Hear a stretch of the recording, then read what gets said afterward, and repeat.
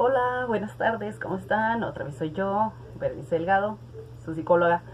Y pues ahora vengo a traerles un videito o hablarles de algo que pues me llamó la atención y quise hacer un análisis ahora de un par de novelas. La vez pasada hablamos de canciones y del análisis de cómo las usamos para sufrir o cómo las canciones también traen todo, todo este concepto dramático de sufrimiento, de la conmiseración y bla, bla, bla. Bueno, pues ahora me quería centrar un poco más en la cuestión de las novelas. Eh, he visitado a mi hermana y cuando he ido a visitarla, pues a ella sí le gusta ver novelas. Yo no soy de ver novelas, pero hace tiempo atrás, cuando yo iba, estaban pasando en la tarde una novela que ella veía y que me llamaba la atención porque pues se resalta un poco la cuestión que quiero tocar en este en este video o el tema que viene siendo lo de el romanticismo de la infidelidad. Entonces, pero esa va a ser la segunda novela que quiero tocar. Voy a empezar con otra que está ahorita actualmente en la televisión y que ha tenido como, como un, rating alto, que es la de Destilando Amor, o también conocida como la de la gaviota. En esa novela, así como que muy a grosso modo, eh, estuve buscando la información y me salió que el 91% de la gente le gustó, le gusta este programa. Esta novela es del 2007, de Nicandro Díaz. Eh, en esta novela actúan principalmente lo que es Angélica Rivera como Teresa o la Gaviota, Eduardo Ñáñez como Rodrigo Montalvo y Marta Julia como Isadora, ¿no? Que viene siendo ahí la, la tercera en, en, discordia, por así decirlo. En un resumen muy rápido, que este, esto me ayudó mi hermana para el resumen, resulta que esta chica trabaja como gimadora, conoce al señor Montalvo, que es alguien de dinero, se enamoran y él se tiene que ir a Londres ella supuestamente se va con, con, un grupo de personas que la quieren prostituir, ella va embarazada, la atropellan, se tiene que recuperar, no alcanza a llegar para cuando se supone el año ellos se van a volver a ver. Entonces cuando él viene y supuestamente le dicen que ya se fue de prostituta, él se enoja como un buen hombre impulsivo y macho y el primer impulso es ir a decirle a la tercera en discordia, que es Marta Julia, que es eh, Isadora en la novela, que se case con ella entonces, súper consciente, lógico y lo más sabio que pudo haber hecho el hombre, ¿no? Se supone que se casa.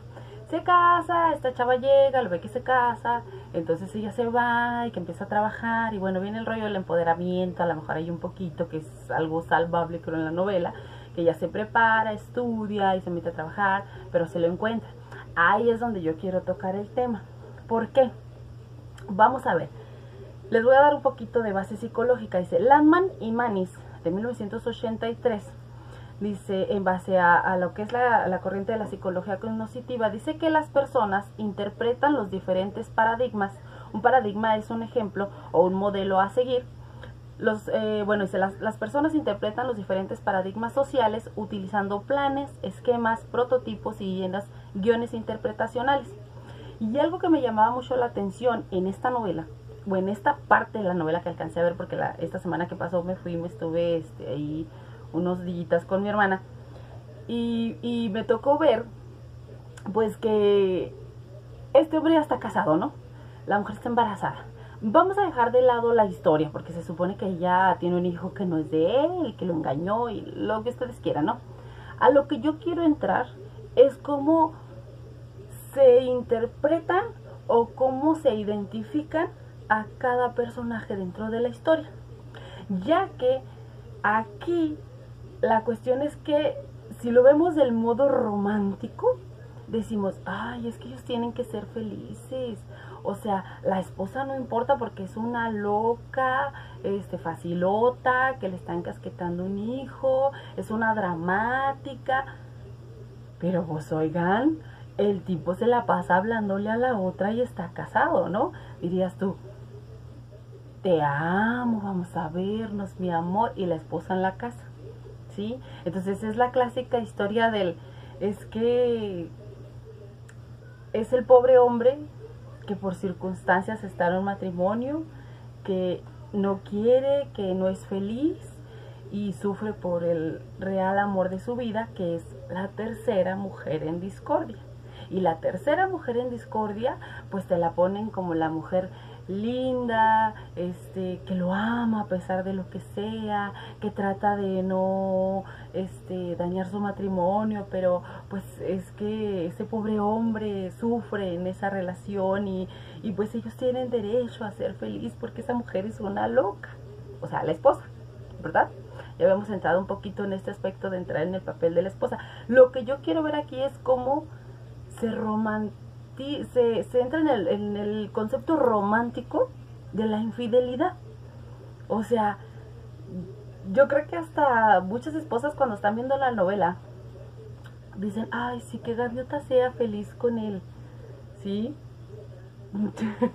Pero decimos, bueno, si ese fuera el caso de una como esposa, no diría, no, no manches. O sea, ¿estás casado conmigo? Y que sí, o sea, lo que yo quiero no es tanto entrar en la historia, porque digamos, es que la historia es, no, sino cómo es que nos proyectan a cada uno de los personajes.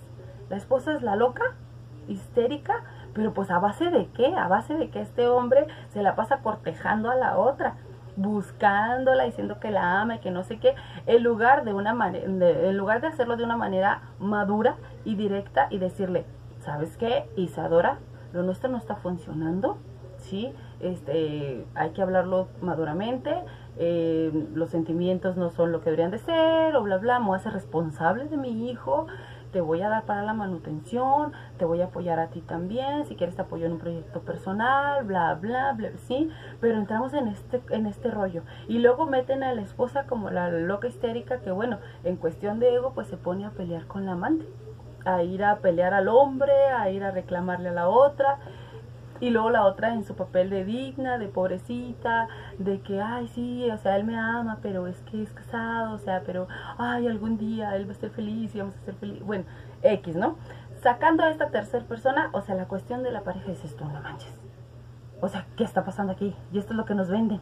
La normalización y el romanticismo de la infidelidad. Por la historia de que el pobre hombre tiene que ser feliz. Por sus decisiones pendejas.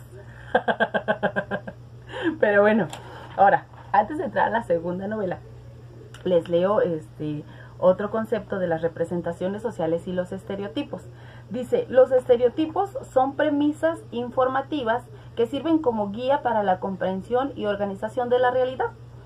Dice, sistemas de categorización preexistentes que la persona ha asimilado de su ambiente social y que permiten reducir la información del medio, organizándola con base en esas categorías y premisas existentes. Ahora dice, en última instancia son una orientación para la conducta, una orientación para la conducta, una guía para el comportamiento nosotros aprendemos de lo que vemos y con lo que crecemos y muchos crecimos con estas novelas y las siguen transmitiendo y las seguimos comprando y queremos seguir resolviendo la vida de los protagonistas de la novela y seguimos creyendo en esos prototipos que se nos dan, ¿sí? Y el romanticismo de estos conceptos, ¿verdad? Ok. Entonces, esto lo dice Abrick de 1987. Viene otro concepto acá que dice, los estereotipos son esquemas de referencia hacia determinadas personas. Dice, clasificaciones y juicios grupales y colectivos. Por tanto, dice, son estas clasificaciones o juicios grupales, pues las que cumplen la función de organizar el razonamiento natural colectivo de las explicaciones sociales cotidianas. Dice Páez y estarán de 1987, dice, son juicios y atribuciones colectivos que la mayoría de las veces trascienden en el tiempo, más allá de la generación en la que se creó. ¿Sí? O sea, los que crecimos con estas novelas no es suficiente. Estas ideas se transmiten de mujer a mujer. ¿Sí? O sea, nos las transmitimos de mujer a mujer. A lo mejor en alguna ocasión nosotras como amigas le llegamos a decir a una amiga, no amiga, pues es que hoy su esposa se ve que es una perra y es una cabrona y está loca, no lo quiere, no lo valora. O sea, a ti te ama, tú sí lo quieres, pelea por él, tienes que ser feliz porque él también se merece una mujer como tú y bla, bla, bla, bla. Qué lindo, ¿verdad? Bueno, ahora, de esto me quiero ir a la otra novela. La otra novela, que es la de Amores Verdaderos, yo creo que muchos la vieron, porque hasta yo me llegué a enganchar ahí con un par de capitulillos cuando visitaba a mi hermana. Y este, pero, o sea, razonaba el concepto y yo decía, no mames, o sea, ¿qué pedo? Porque este tipo, karateca y no sé qué, super yoga y sabio y whatever, siempre le dan estos papeles a ñañez, Como que le queda el del tipo inmaduro, impulsivo, indeciso, inseguro, o sea, facilote, este, un niñote, prácticamente como hay muchos, ¿no? Bueno, entonces, eh, Amores Verdaderos decía que el 94% de la gente, o sea, le había gustado, o sea, si lo, si lo googleas, le había gustado a la gente. Esta novela es del 2012, de Antonio Arbizú. Sale Erika Buenfil, Eduardo Ñáñez, Mónica Sánchez, ¿no? Erika Buenfil es Victoria, la señora de dinero. Eduardo Ñáñez es José Ángel El Galán y Mónica Sánchez es la esposa, es Cristina, la esposa de José Ángel. Entonces él tiene un matrimonio estable, es un hombre de su hogar, con su esposa, es su hija que es adoptada, que no sabe, no sé qué pedo, algo ahí. Entonces, este en una ocasión que quieren asaltar a la señora, la salva, se vuelve su guardaespaldas y de ahí la señora empieza a coquetearle. A coquetearle y él también empiezan a hacerse ojitos y claro que le llama la atención la señora guapa, de dinero. ¿Y qué empieza a pasar? Pues claro que la esposa se le empieza a oler. Pero aquí, ¿qué queremos todos? todos decimos, ay, es que está bonita la historia de ellos dos, de Victoria y de José Ángel. O sea, tienen que estar juntos. Pero ¿por qué? Digo, bueno, a fin de cuentas, si él está de cabrón y anda de canijo, pues sí, lo mejor que puede hacer Cristina es decirle, ¿sabes qué? Bótate. Pero claro que ella, como ya lo habíamos visto en el video de la esposa pendeja, pues como una esposa va a buscar opciones para decirle, mi amor, o sea, teníamos una familia bonita, feliz, nuestra hija, todo. ¿Y qué rollo? O sea, pero nosotros sí compramos el concepto de decir, es que ellos merecen estar felices. Y empezamos poco a poco, como la historia va transcurriendo, a ver a Cristina como una loca. ¿Verdad? Pero no lo es. O sea, es una esposa que tenía una familia tranquila y que de repente, o sea, ¿qué está pasando? ¿Sí? Y dices, ah, mira, este qué canijo. O sea, le llamó más la atención la señora guapa, de dinero, estilera, o sea, con clase, la, ¿verdad? Siendo que esta señora también es casada. y ya vivió la infidelidad por parte de su esposo. Y esto le da la justificación para ella también ser infiel, ¿verdad? Ay, qué bonito. Y dirán, ay, pero no tuvieron nada que ver, ellos esperaron hasta que la otra pobre mensa se murió, creo que se muere, ¿no? Hasta que la tuvieron que matar para que la relación ya dijeras, oh, ahora sí pueden ser felices y estar juntos. Y eso compramos, o sea, mentalmente eso compramos. ¿Cuántas veces les digo, algunas de ustedes no les ha tocado vivir esto con alguna amiga, amiga o a lo mejor ustedes mismas? Y nos nos vendemos esa historia de creer que es romántico, ¿sí? El como mujeres no tener ese propio valor de discernir o distinguir los límites, ¿sí? Y no vamos a entrar en el concepto del hombre, porque ya lo hemos dicho, el pobre hombre violado, sufrido, no. No, no, porque si nos metemos al personaje de José Ángel y en el otro de Rodrigo Montalvo, o sea, es un pendejo, inmaduro, impulsivo, inseguro, no sabe lo que quiere, o sea, es un niñote, como les digo, ¿sí? No vamos a entrar en ese concepto. Yo lo que quiero es como retomar en el aspecto de nosotras como mujeres. ¿Con qué prototipos, con qué esquemas mentales, sociales hemos crecido en base a las relaciones, en base al amor, en base a, al normalizar la infidelidad cuando se cree que hay justificaciones? Igual esto lo podemos poner del otro lado, ¿eh? en las cuestiones femeninas. Cuando decimos, es que el hombre no le pone atención, es que la trata mal, es que casi no es atento con ella, o sí, pues es que lo más sano, ahí diríamos hasta por salud mental, pues corta tu relación, corta tu relación sana y luego puedes iniciar otra relación. Sí, con una persona que te valore realmente. Pero no. no hacemos eso. es más fácil tomar otras opciones, les digo, y seguir normalizando y viendo de una manera romántica las cuestiones de la infidelidad. Y pues hablamos de muchos eh, principios sociales que se necesitan tener y valores dentro de una sociedad.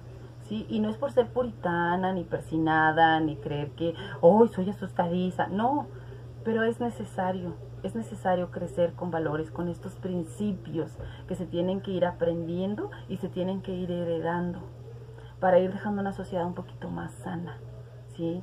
Ahora, si entramos en las cuestiones del romanticismo, porque es lo que nos venden mucho en las novelas, ya sea con infidelidad, sin infidelidad, pues el romanticismo es pasajero.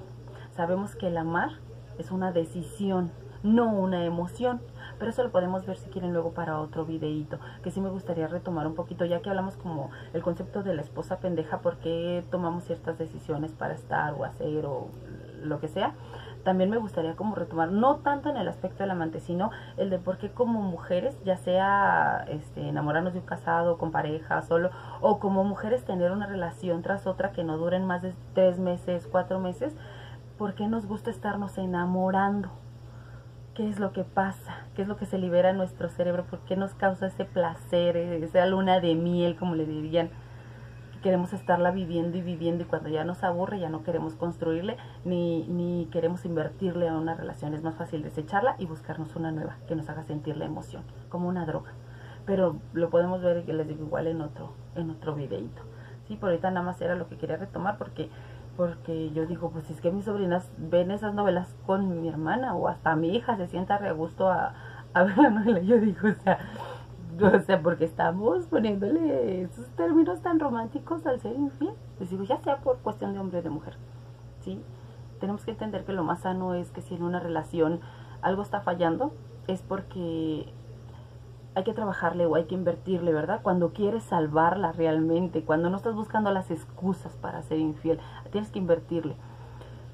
Y, y si no funciona, o si definitivamente ya, como dice la autora Polo, está irremediablemente roto, pues terminarlo por lo más sano, ¿no? Y acabarlo y decir, pues cada quien por su lado y terminar lo mejor posible.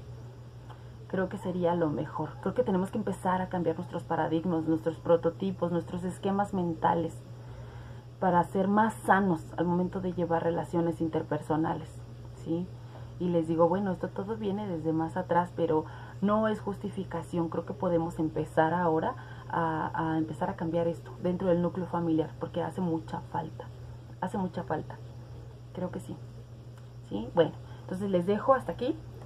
Espero que me regalen un like, se suscriban si les interesan mis temas y pues nos vemos después, ¿sale? Les mando un enorme beso y pues Berenice Delgado, su psicóloga. Charla de mujer a mujer, ¿sale? Bye.